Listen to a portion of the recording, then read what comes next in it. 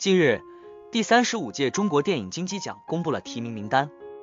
其中最引人关注的是男演员的提名。不少网友对于提名结果表示不满和质疑，认为有些演员被冷落了，有些演员被过分捧起了。在最佳男主角的提名中，有两位实力派演员没有入围，他们分别是王宝强和张译。王宝强在《唐人街探案三》中饰演了一个搞笑又感人的侦探，张译在《夺冠》中饰演了一个坚毅又温暖的教练。他们的表演都得到了观众和影评人的高度评价，但却没有得到金鸡奖的认可。在最佳男配角的提名中，有两位巨星级的演员也没有出现，他们分别是刘德华和李雪健。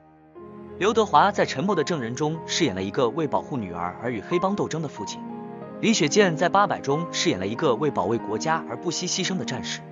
他们的表演都展现了他们的实力和魅力，但却没有得到金鸡奖的提名。相反，一些网友认为不够资格的演员却得到了提名，比如黄轩、彭昱畅、任素汐等。他们认为这些演员的表现平平无奇，没有给观众留下深刻的印象，不值得获得金鸡奖的肯定。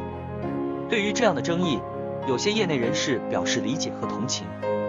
他们说，金鸡奖是一个权威和专业的电影奖项，其评审标准和过程都是公正和严谨的。他们说，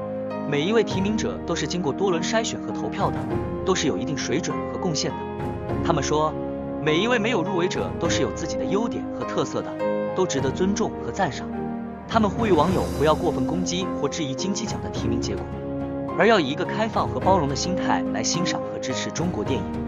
他们说，中国电影需要多元和发展，需要更多优秀的演员和作品来丰富和推动中国电影事业。